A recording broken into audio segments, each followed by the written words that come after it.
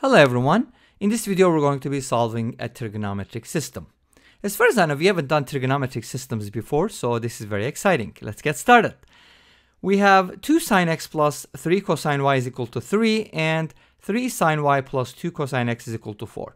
And we're going to be looking for x and y values.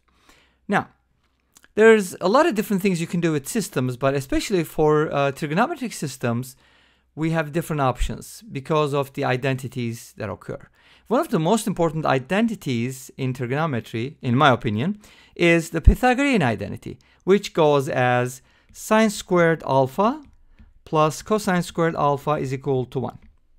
Now, this is very important and you can easily prove it, uh, you know, using a right triangle or by other means.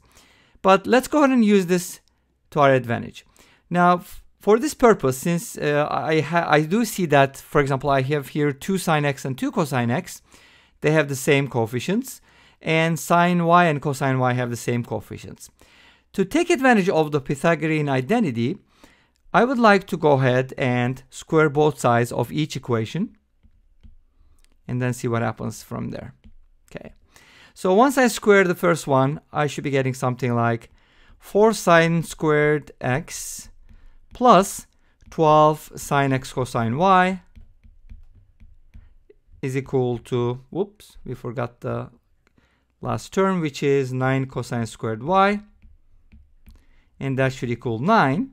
And if you square the second one, that should give you 9 sine squared y plus 12 sine y cosine x, right? Plus 4 cosine squared x. And that should equal 4 squared, which is 16. Now, what I'd like to do is, I'd like to add these two equations because notice that we have 4 sine squared here and 4 cosine squared here. And obviously, this means 4 times the quantity sine squared x plus cosine squared x, which is equal to 1. So that should give us a uh, 4 there, right? So 4 times 1 is equal to 4. We have 9 sine squared y and 9 cosine squared y. Their sum is going to be 9 for the same reason. And then these two terms basically have the same coefficient. So I can just go ahead and factor out a 12 and see what happens from there.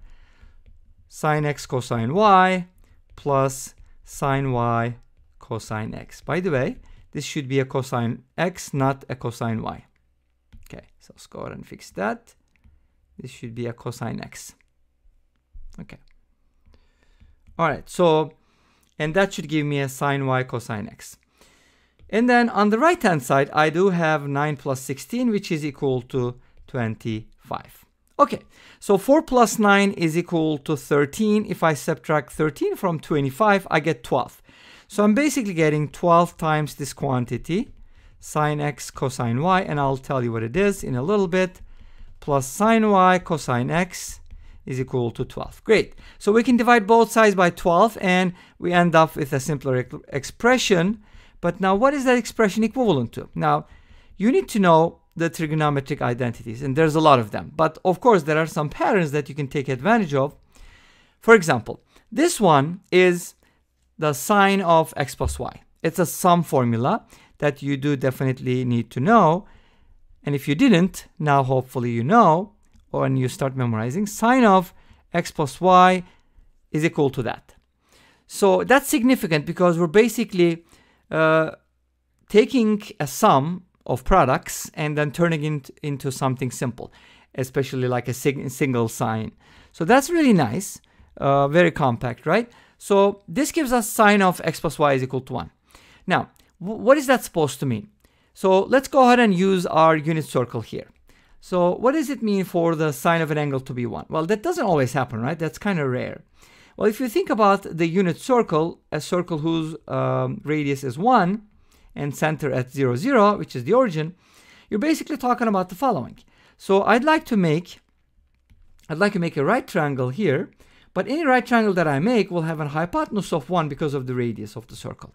So when since we define sine of an angle as opposite over hypotenuse, when the hypotenuse is 1, the sine of the angle is just going to be the opposite side length or the coordinates for this uh, purpose. And it's just going to be the y coordinate in this case. In other words, what I'm trying to say is on the unit circle, the angle whose sine is 1 is pi over 2 in terms of radians, right? But we can also write it this way. Well, x plus y is not just pi over 2 because we can also definitely add uh, multiples of 2 pi. So let's just go ahead and, you know, just add 2 pi multiplied by k. So let's just write it as 2k pi. All right, I want to express it in a nicer way. So let's go ahead and do the following. I can just write it as making a common denominator. I can make it pi plus 2k 2k pi, and I'm going to multiply that by 2. Of course, that's going to be 4k pi divided by 2 like this. And what I'd like to do is I'd like to factor out a pi here so that when I do, I get 4k plus 1, and I'd like to multiply that by pi over 2. So basically, we're talking about multiples of pi over 2 here, and not just any multiple of pi over 2, but odd multiples of pi over 2, but not all the odd multiples. We're kind of skipping. So 4k plus 1 is kind of like a numbers that leave a remainder of 1 when divided by 4 numbers like 1 or 9 or 13 and so on and so forth. So you're only hitting this positive value because if you just say odd multiples of pi over 2, then you're also talking about 3 pi over 2, which is a negative value. Okay?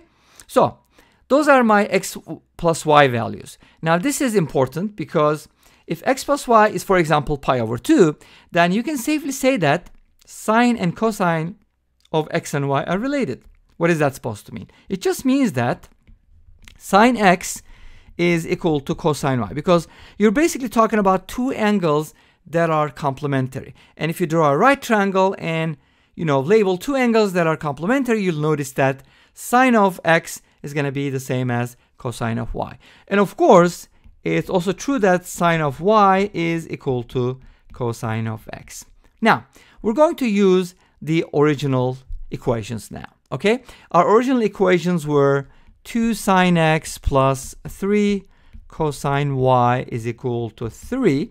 Now, in this equation, if you go ahead and replace sine x with cosine y, you get 5 cosine y is equal to 3. And that gives you cosine y is equal to 3 fifths. Now, if you do something similar, if you do something similar, for the other one, for example, replace sine y with cosine x, right? Uh, here, and what was our original equation? Of course, we have to go to that first. So that was 3 sine y. So that was 3 sine y plus 2 cosine x is equal to 4, right? So let me go and, you know, fix this so it looks nicer. So in this equation, we can basically replace sine y with cosine x. So we get 5 cosine x is equal to 4. And that just means that cosine x is equal to 4 fifths. So we got like two different values here. Of course, cosine x is the same as sine y, and cosine y is the same as sine x. So all these values are obviously positive. So we can safely say that from here, tangent x is going to be 3 fourths, and tangent y is going to be 4 thirds. So basically, you're talking about two angles here whose tangents are reciprocals. Of course, these angles are complementary. Let's remember that. So we can write our result as follows. So from here, x becomes tan inverse of 3 fourths. And of course, we can add multiples of 2 pi. So let's just go ahead and add 2n pi to it. And then y can be written as tan inverse of 4 thirds. And then we can again multiply or add uh, multiples of 2 pi to it and let's just write it as 2l pi where a, n and l are integers. So for some integers n and l this is going to be true and that's basically going to give us all the solutions to this system. Well, this brings us to the end of this video. I hope you enjoyed it. Please let me know. Don't forget to like, comment and subscribe. I'll see you tomorrow with another video. Until then, be safe, take care, and bye bye.